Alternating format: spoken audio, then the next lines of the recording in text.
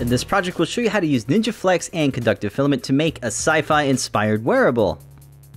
This integrated circuit is semi-flexible and uses a coin cell battery to power five very bright LED sequins. To start this project, we'll use a pencil to draw our hand on paper, and then we can use the outline from our sketch to create a CAD model.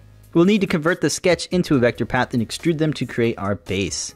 When designing traces in parallel, you want to keep the ground and power separated. We made a battery holder for the coin cell battery so that it has a press fit, and the spots on the fingertips are actually sized to fit the solder pads of the LED sequins.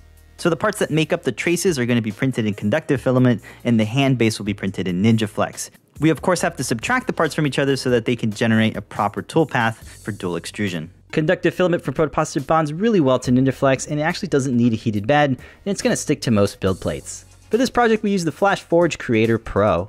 When printing with NinjaFlex, you want to set the print speed at 45mm a second. That way we get good layer adhesion. This took about 3 hours to print and when it's done, you'll have a flexible piece with embedded conductive traces. Next, we'll need to print flexible straps to hold each finger.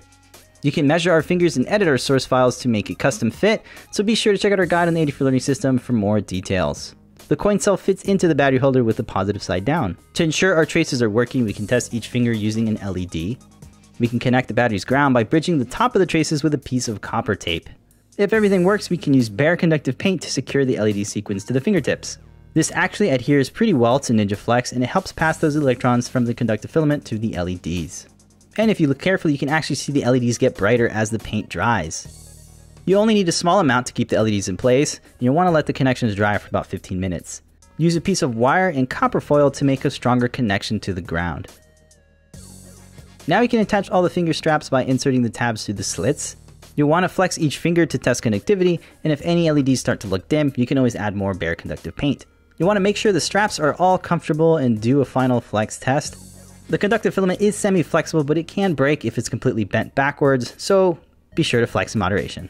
So what integrated wearable circuits would you make? You can let us know in the comments, and if you're looking to build your own conductive wearables, do check out the parts and materials on the Adafruit shop.